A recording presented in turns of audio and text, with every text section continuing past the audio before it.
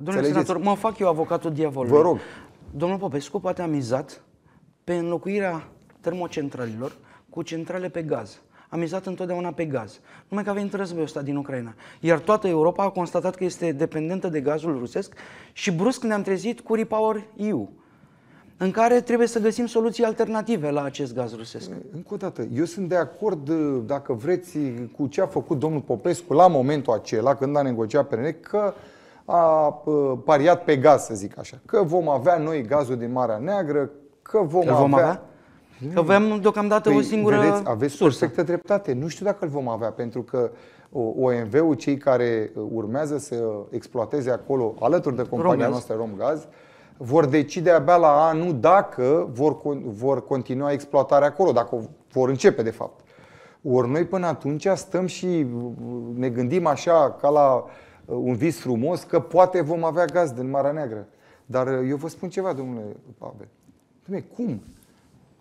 Tu să-ți dărâmi o casă în care locuiești și e bine și îți produce energie electrică pe cărbune, uh, îți asigură echilibrul în sistem energetic, dărâmi adică închizi tot ce ai pe cărbune, că o să ai peste vreo 5-6 ani pe gaz. Dom'le, nu mai bine stau cu astea deschise până când le voi avea pe alea construite? Are toată logica din lume.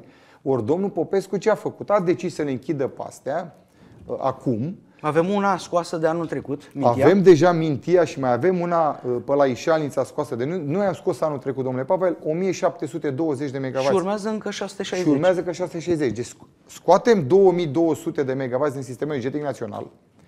Și spune domnul Popescu că vom pune în loc în 2026 uh, centralele astea pe, pe gazul, una la Ișalnița și una la Turceni, de vreo 1300 de MW. E o diferență totuși. Păi e diferență. Și ce fac, domne, cu ăștia 2200 scoși deja? Ce fac? Cu ce îi înlocuiesc?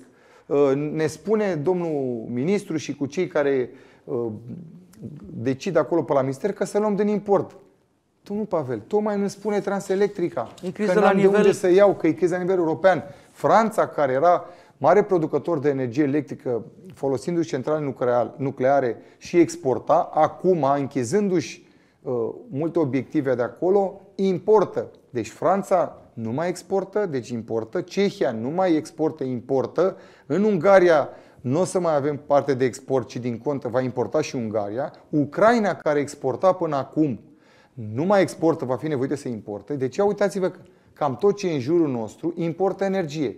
Se pune întrebarea cine exportă ca să acopere tot acest deficit. Și noi avem un deficit. Ați spus bine dumneavoastră la începutul emisiunii, ăla a fost deficitul de anul trecut. Ori, suntem în situația în care noi să ne putem produce doar vreo 7000 de megawatts, da? iar în vârf de iarnă putem să consumăm între 9000 și 9500. De unde luăm acest da, da. documentele, documentele europene ne permit, ne pun să trecem aceste centrale în conservare, iar în caz de necesitate să le dăm drumul. De ce nu le menținem?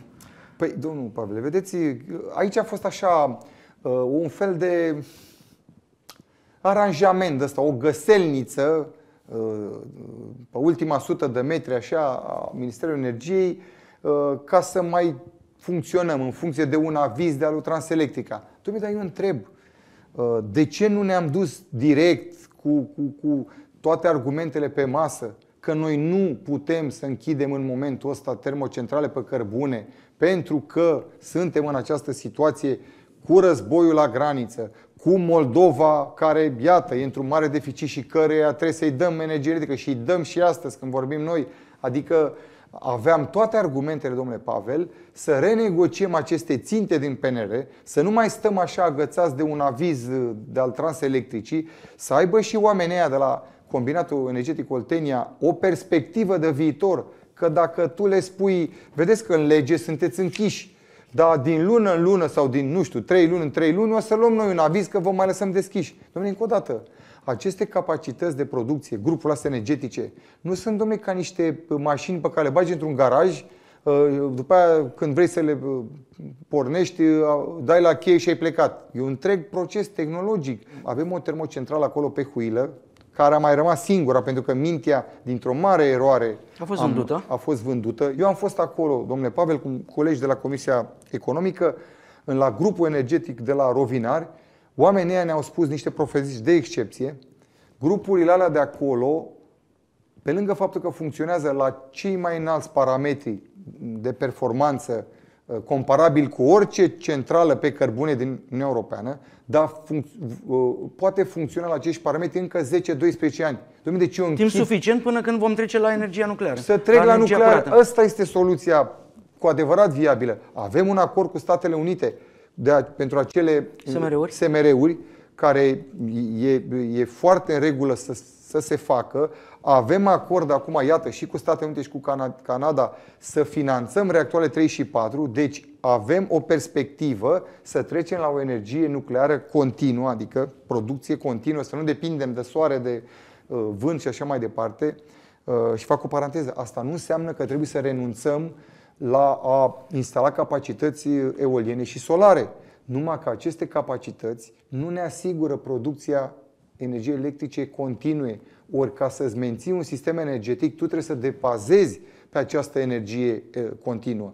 Avem hidro, avem eh, nuclear, avem cărbune. Sigur, când producem mai mult eolianul, ne păstrăm a- apa în lacuri, la hidro, nu o consumăm, ne păstrăm rezerva pe cărbune. Adică poți face acest mix al energiei, pentru că, slavă Domnului, avem această, acest, uh, această șansă, nicio țară din Europa, să știți că nu este în situația bună în care suntem noi. Să avem materie primă, că asta spune și Transelectrica.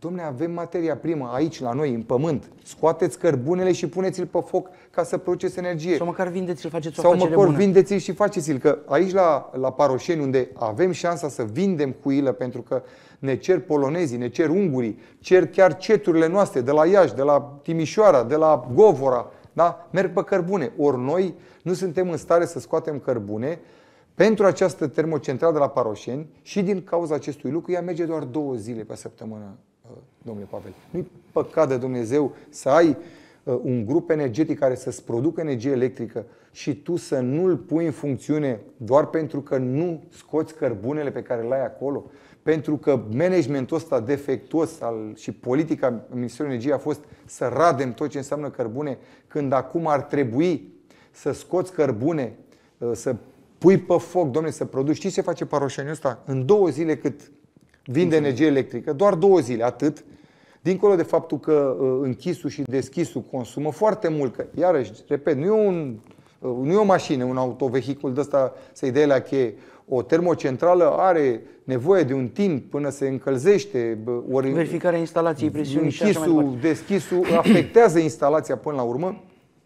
Deci din două zile uh, cât vinde energie electrică, Paroșeniu, uh, obține venituri ca să plătească salariile a 3.000 de angajați, de mineri și cei care lucrează în termocentrală. Dar dacă ar merge, domnule Pavel, șapte zile și nu două, gândiți-vă cât profit, iată, obține compania uh, energetică Hunedoara, care a fost întotdeauna subvenționată de la stat, iar acum e momentul să fie pe profit. Ai șansa asta, până la urmă istorică, n-a fost, uh, e conjunctura care e. Și tu să dai cu piciorul doar pentru că uh, domnul Popescu are el niște, până la urmă, interese să se treacă pe gaz. Păi până să trecem pe gaz, eu nu pot să închid țara, domnule Pavel.